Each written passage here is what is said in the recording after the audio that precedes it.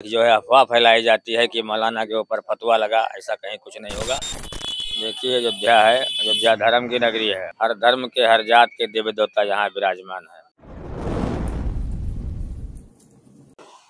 नमस्कार, स्वागत है हमारे चैनल प्रभु भक्ति में। मैं हूँ आपके साथ अश्विनी पांडे। आज अयोध्या में मौजूद है हमारे साथ बाबरी मस्जिद के बाबरी मस्जिद के पक्ष के इकबाल अंसारी जी मौजूद हैं।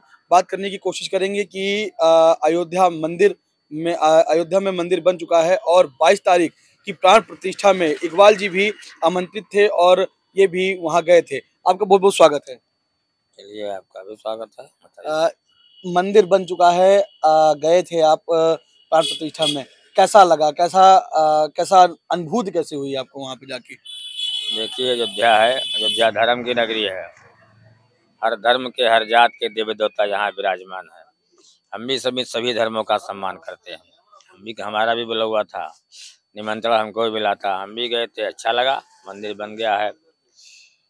क्योंकि जब जब तक जो है, मंदिर नहीं बना हुआ था, भगवान तो विराजमान थे। आज मंदिर बन चुका है, अब बना है, अच्छी है। बहुत से लोग आ रहे हैं देश विदेश से लोग आ रहे हैं।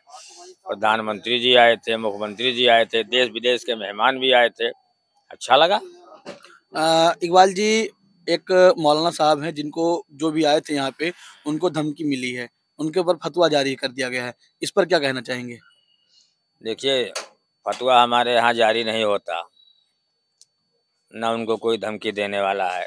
दर्शन करने आए थे उन्होंने कोई ऐसा काम नहीं किया है। दर्शन तो सभी कर सकते हैं सभी करते हैं। ये तो एक एक एक, एक जो है अफवाह फैलाई जाती है कि मौलाना के ऊपर फतवा लगा ऐसा कहीं कुछ नहीं होगा। क्योंकि तो फतवा जो लोग इस तरीके से लगाते हैं इसका कोई मतलब ही नहीं लगा ही नहीं है। क्योंकि दर्शन सभी लोग कर सकते हैं सभी उसके हकदार हैं। दर्शन करने के लिए हमारे धर्म में कहीं मना नहीं है। जैसे अ, कुछ मुस्लिम समुदाय के लोग कहते थे कि राम मंदिर नहीं बनना चाहिए वहाँ पे हॉस्पिटल बनना चाहिए ये बनना चाहिए वो बनना चाहिए। तो उनको उनके लिए क्या जवाब रहेगा आपका?